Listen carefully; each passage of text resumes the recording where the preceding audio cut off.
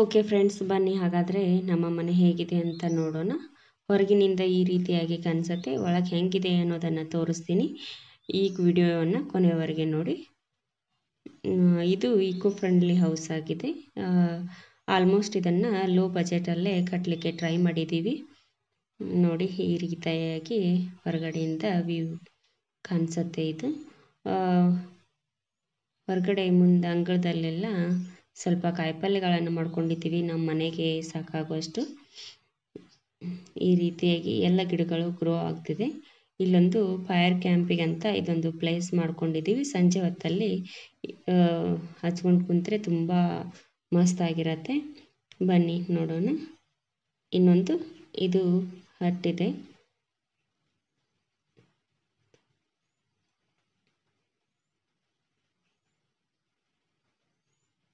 ನೋಡಿ ಇದೊಂದು ಹೊರಗಡೆ ಒಂದು ಸಿಟೌಟನ್ನು ಮಾಡ್ಕೊಂಡಿದ್ದೀವಿ.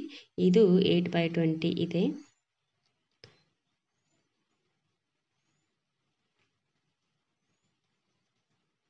ಹೊರಗಿನಿಂದ ಇಲ್ಲಿ ಈವ್ನಿಂಗಲ್ಲಿ ಟೀ ಕುಡ್ಕೊತ ಮುಂದಿನ ವ್ಯೂವನ್ನು ನೋಡಲಿಕ್ಕೆ ತುಂಬ ಮಸ್ತಾಗಿರತ್ತೆ.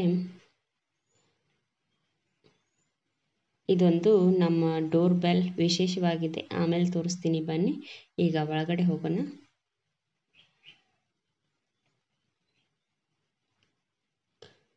ನೋಡಿ, ಈ ರೀತಿಯಾಗಿ ಒಂದು ಹಾಲ್ ಇದೆ. ಇದು ಟೆನ್ ಬೈ ಟ್ವೆಂಟಿ ಇದೆ. ಹಿಂದ್ಗಡೆ ಒಂದು ಬಾಗಲವನ್ನು ಬಿಟ್ಟಿದ್ದೀವಿ. ಸುತ್ತಮುತ್ತಲೆಲ್ಲ ಹೊಲಗದ್ದೆಗಳಿವೆ. ನೋಡಿ, ಈ ಹಂಚನ್ನು ರೀಸೈಕ್ಲಿ, ಸೈಕಲ್ಡ್ ಇದೆ ಇದು. ಅಂದರೆ ಸೆಕೆಂಡ್ ಹ್ಯಾಂಡ್ ಯೂಸ್ ಮಾಡ್ಕೊಂಡಿದ್ದೀವಿ. ಲೋ ಕಾಸ್ಟಲ್ಲೇ ಫಿನಿಶ್ ಮಾಡಲಿಕ್ಕೆ ಅಂತ ನೋಡಿ ಈ ರೀತಿಯಾಗಿ ಒಳಗಡೆ ಇದೆ.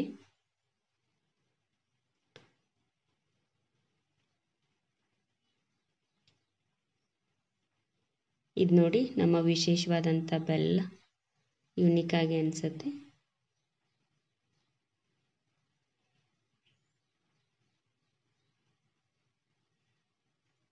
ಇದು ಟೈಮ್ ಪಾಸಿಗಂತ ಒಂದು ಟಿವಿ ಹಚ್ಚಿದ್ದೀವಿ.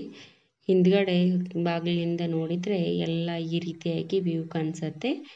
ಹೊಲಗಳಿವೆ ಹಿಂದೆ, ಎಲ್ಲ ಎಷ್ಟು ಚೆನ್ನಾಗಿ ಕಾಣಿಸ್ತಾ ಇದೆ ನೋಡಿ. ಈ ರೀತಿಯಾಗಿದೆ. ಈ ಮನೆ total nine hundred square feet ಇದೆ. ಇದೊಂದು ಕಿಚನ್ ಮಾಡ್ಕೊಂಡಿದ್ದೀವಿ. ಇದು ಫಾರ್ಮ್ ಹೌಸ್ ಇದೆ. ಅದಕ್ಕೋಸ್ಕರ ನಾವು ಯಾವಾಗಾದರೂ ಬಂದಾಗ ಮಾಡ್ಕೊಳ್ಳಿಕ್ಕೆ ಕುಕಿಂಗ್ ಎಲ್ಲ ಮಾಡಲಿಕ್ಕೆ ಅಂತ ಸ್ವಲ್ಪ ಪಾತ್ರೆಗಳನ್ನು ಇಟ್ಟಿದ್ದೀವಿ ಅದು ಮಣ್ಣಿನ ಪಾತ್ರೆಗಳು. ಟೋಟಲ್ ಆಗಿ ಇದು ಹಳ್ಳಿ ಕಾನ್ಸೆಪ್ಟ್ ಇದೆಯಲ್ಲ ಅದಕ್ಕೋಸ್ಕರ ನಾವು ಈ ರೀತಿಯಾಗಿ ಮಾಡ್ಕೊಂಡಿದ್ದೀವಿ. ನೋಡಿ, ಈ ರೀತಿಯಾಗಿದೆ.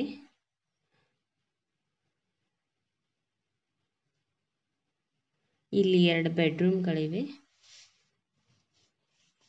ಇದು ಫಸ್ಟ್ ಬೆಡ್ರೂಮ್ ನೋಡಿ. ಬನ್ನಿ, ತೋರಿಸ್ತೀನಿ. ನೋಡಿ, ಒಳಗಡೆ ಈ ರೀತಿಯಾಗಿದೆ. ನಾವು ಈ ಬೆಡ್ರೂಮನ್ನು ಜಾಸ್ತಿ ಏನು ಖರ್ಚು ಮಾಡಿಲ್ಲ. ಬ್ರಿಕ್ಸಲ್ಲೇ ಬೆಡ್ಡನ್ನು ಕಟ್ಕೊಂಡಿದ್ದೀವಿ. ನೋಡಿ, ಈ ರೀತಿಯಾಗಿದೆ.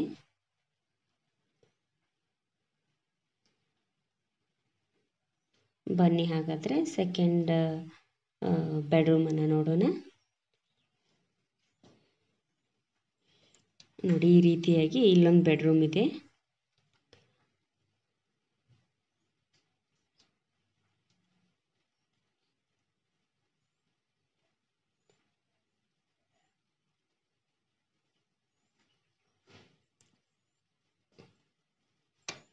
ನೋಡಿ, ಈ ಕಿಟಕಿಯ ಗ್ಲಾಸಸ್ ಎಲ್ಲ ಟ್ರಾನ್ಸ್ಪರೆಂಟ್ ಆಗಿದೆ.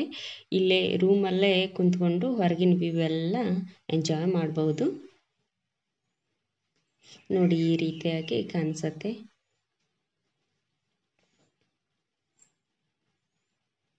ನೋಡಿ ಹೊರಗಿನ ಎಷ್ಟು ಚೆನ್ನಾಗಿ ಕಾಣಿಸಿದೆ ಅಂತ.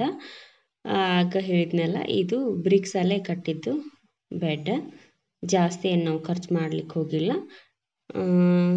ಈ ಮನೆಗೆ ಟೋಟಲ್ ಖರ್ಚು ಬಂದು ನಾಲ್ಕರಿಂದ ನಾಲ್ಕೂವರೆ ಲಕ್ಷ ಆಗಿದೆ. ಇದೊಂದು ಕಾಮನ್ ಟಾಯ್ಲೆಟ್ ಬಾತ್ರೂಮ್ ಇದೆ.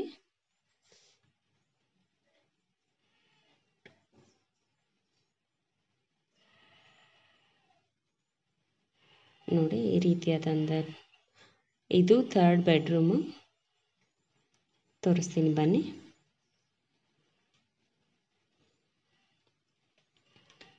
ಇದು ಸ್ವಲ್ಪ ಇನ್ನೂ ಕೆಲಸ ಉಳಿದಿದೆ, ಇದರಲ್ಲಿ ಪೇಂಟಿಂಗ್ ಎಲ್ಲ ಮಾಡಬೇಕು. ಇನ್ನೂ ಸ್ವಲ್ಪ ಕೆಲಸ ಬಾಕಿ ಇದೆ. ಈ ರೀತಿಯಾಗಿದೆ ಟೋಟಲಿ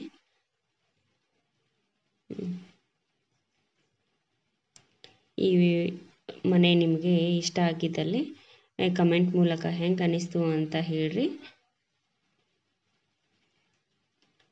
ಇದು, ಈ ಮನೆ ಬಗ್ಗೆ ಏನಾದರೂ ಡೀಟೇಲ್ಸ್ ಬೇಕಿದ್ದರೆ ಮುಂದಿನ ಕಮೆಂಟ್ ಮೂಲಕ ತಿಳಿಸಿ ಮುಂದಿನ ವಿಡಿಯೋದಲ್ಲಿ ನಾನು ಹೇಳ್ತೀನಿ. ಮತ್ತು ಇದರಿಂದ ತುಂಬ ಅನುಕೂಲ ಆಗಿದೆ ನಮಗೆ. ಹೆಂಗಂದರೆ ಕೋವಿಡಲ್ಲಿ ಕೋವಿಡ್ ಸಿಚುವೇಷನಲ್ಲೆಲ್ಲ ಇಲ್ಲೇ ಬಂದು ಉಳ್ಕೊಂಡಿದ್ವಿ ಈಗ ಇದರಿಂದ ಹತ್ತು ಸಾವಿರದವರೆಗೂ ಮಂತ್ಲಿ ಆದಾಯ ಬರ್ತಾ ಇದೆ. ಅದನ್ನು ಮುಂದಿನ ವಿಡಿಯೋದಲ್ಲಿ ಡಿಸ್ಕಸ್ ಮಾಡೋಣ. ಅಲ್ಲಿವರೆಗೆ ಬಾಯ್ ಟೇಕ್ ಕೇರ್